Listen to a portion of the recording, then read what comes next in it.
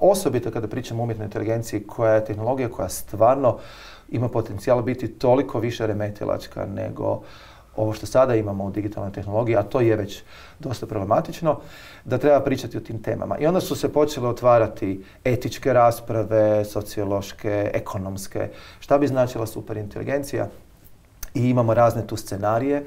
Ljudi rade isto na tome da, i to je važna, važno pitanje superinteligencije, kako možemo osigurati da kada dođemo do toga da nas, jel te, ne zezne, odnosno da ostane korisna. Ako je stvarno superinteligentna, onda realno je opasnost da nas nadvlada. I sad opet zvuči kao science fiction, ali ako složite kockice, logično, logično razmišljate, teško da ćete naći protuargument za to i i ima jel da, filozofa koji su se time bavili i razradili moguće scenarije. Nick Bostrom je jedan od njih i on je to napravio izvrsno. I onda znači postaje ključno pitanje možemo li ostati u kontroli.